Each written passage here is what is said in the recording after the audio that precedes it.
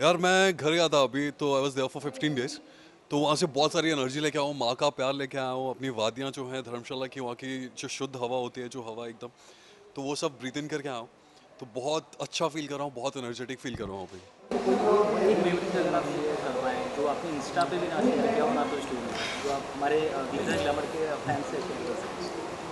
मेरी एक मेमोरी है यार तो वहाँ पे ना अपने मोहित चौहान जो हैं तो मोहित चौहान हिमाचल के हैं। तो वो धर्मशाला मैकलोडियंस वगैरह बहुत आते हैं तो एक दिन मैं भी थोड़ा बहुत गिटार बजाता हूँ। तो एक दिन मैं मैकलोडियंस से हुआ था नाइट आउट लिए। तो वहाँ पे मुझे मोहित चौहान मिल गए। और मैंने उनके साथ बैठ के गिटार बजाया था so that was a brilliant experience for me मेरा आज तक वैसा एक्सपीरियंस नहीं हुआ। सो वो मेमोरी मैंने आज तक कभी से शेयर नहीं करी and it's like one of the closest memory to my heart दशहरे का टाइम है। अच्छा। नौ दिन तो नौ दिन को आपने कैसे सेलिब्रेट किया? नौ दिन मैं घर पे था तो पहले क्या करते थे? मम्मी जैसे फलार बनाती है। तो एक तो व्रत रखने पड़ता। तो मम्मी अपना जो फलार बनाती है तो उनका फलार मैं खाता हूँ। सो बेसिकली वो कुछ रोटी बनाती हैं कौन सा आटा मेरे को नाम पता नहीं आटे का तो आलू और दही। सो ये स्टेपल डाइट थी मेरी रोज लंच में मुझे यही मिल रहा था खाने को। और शाम को थोड़ा गरबा खेल लिया और सुबह उठ के पूजा कर ली। तो नवरात्र मेरे बहुत धार्मिक और बहुत स्पिरिचुअली तरह से बीता। I love to eat actually मुझे थोड़ा कट डाउन करना पड़ता है अपने खाने पे, क्योंकि मुझे जिम जाना होता है और थोड़ा शेप में रहना होता है बट मुझे खाना बहुत पसंद है। तो जैसे हमारे धर्मशाला की आपको एक बात बता दूँ तो वहाँ पे धाम बनती है, धाम। तो बेसिकली वो एक कुजीन होती है जो एक ऐसे गड्ढा खोद के लकड़ी पे वो कुजीन बनती है, उसको बोलते हैं dham, Kangri dham. It's very famous तो अभी मैं यही ढूंढ रहा था कि किसी की शादी हो शादी हो, और मैं वो खा के आऊँ, शादी में बनते हैं। तो मैंने स्पेशली पालमपुर जाके, अपने घर से 40 किलोमीटर दूर जाके शादी में किसी के खा के आया हूँ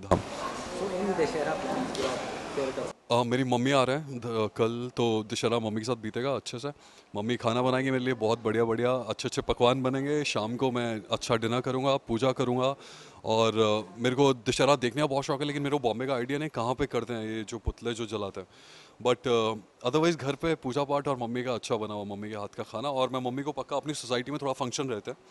So they must be something in my society तो वहाँ पे लेके जाऊँगा मम को तो ये डांडिया की मेमोरी जो कोई आप स्पेशल पर्सन के साथ कभी आपने डांडिया play किया? डांडिया स्पेशल पर्सन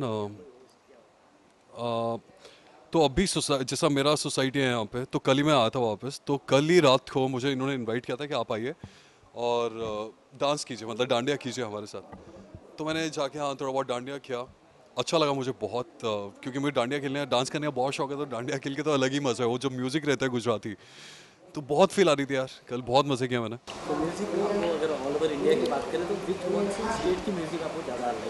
मेरे को हिमाचल म्यूज़िक अपना अपने फोक जो सॉन्ग्स रहते हैं वो बहुत बढ़िया लगता है। तो हिमाचल की कोई फ़िल्म कोई ट्राई करें कोई नया कुछ?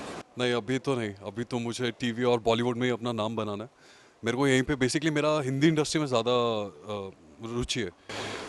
तो सर जाते जाते दशहरे की शुभकामनाएँ आए मैं मोहित अपन washing man glitter and glamour hi this is Mohit Abrol you watching me on glitz and glamour और आप सबको दशहरे की बहुत बहुत बधाई।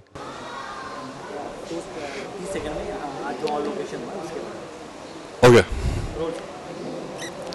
hi this is Mohit Abrol तो आज हम एक सीन कर रहे थे जहाँ पे मैं अली बाबा का मातम मना रहा हूँ क्योंकि अली बाबा बहुत दिनों से परवाज में नहीं आया। और जैसे माता मना रहा होता अली बाबा पोस्टर फाड़ के मेरे सामने आते हैं, जो मैंने उनका पोस्टर लगा रखा है।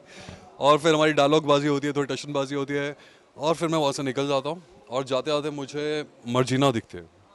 और उसके बाद की कहानी आपको देखनी पड़ेगी।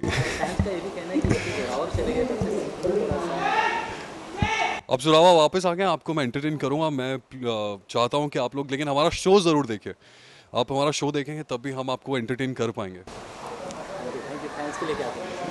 हाँ जी फैंस को ये और फैंस को मैं पहले दशहरे की बहुत सारी शुभकामनाएँ देना चाहूँगा। आज नौमी है। आज अष्टमी है ना? आज अष्टमी है। आज अष्टमी है। तो दशहरे की बहुत सारी शुभकामनाएँ आपको। और हमारा शो देखिए प्लीज़ यार। हम अच्छा कर रहे हैं आपको एंटरटेन कर रहे हैं इतना बढ़िया शो बना रहे हैं। हमारी टीआरपी बढ़ाइए थोड़ी अच्छा लगेगा। और प्यार दीजिए हमें बहुत सारा।